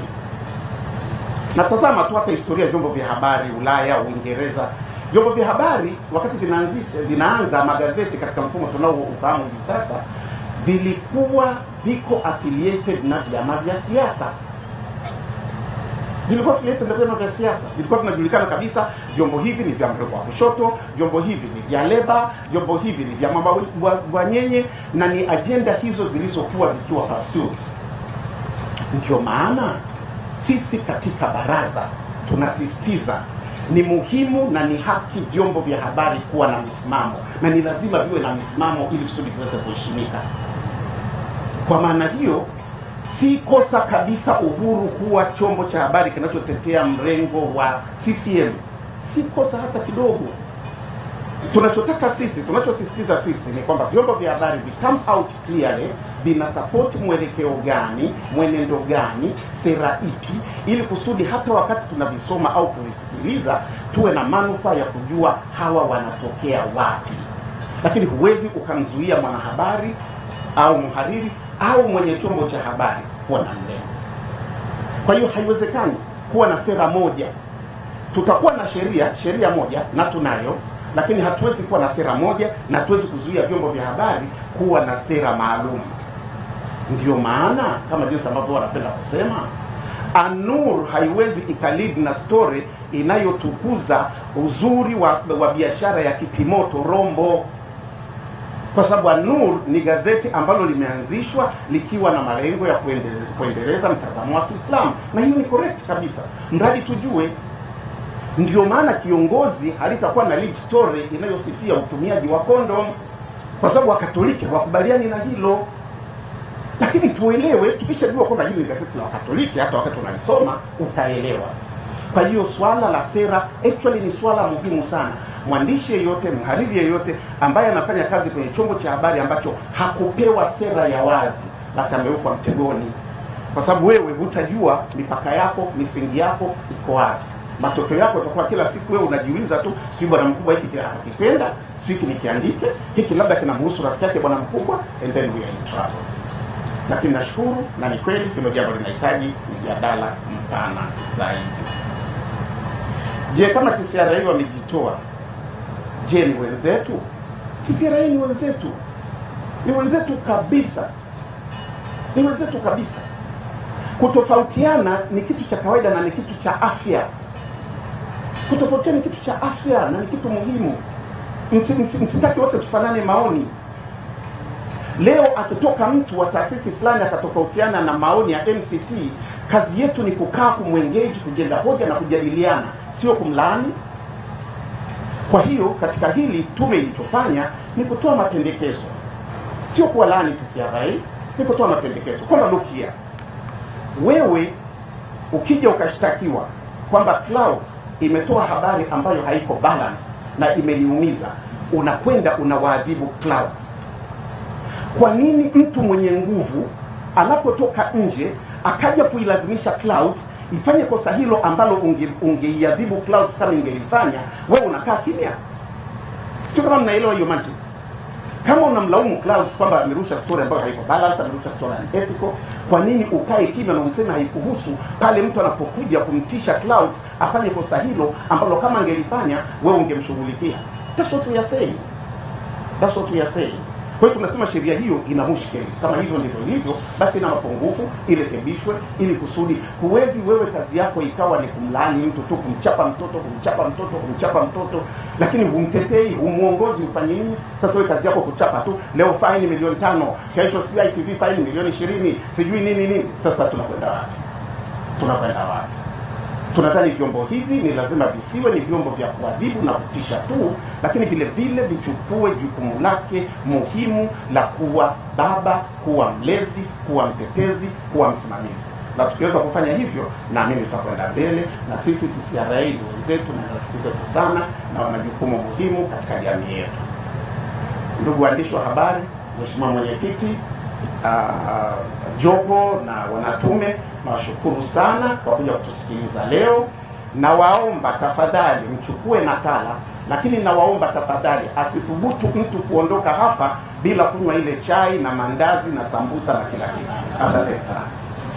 Asante sana katibu mtendaji na timu yako, tunashukuru.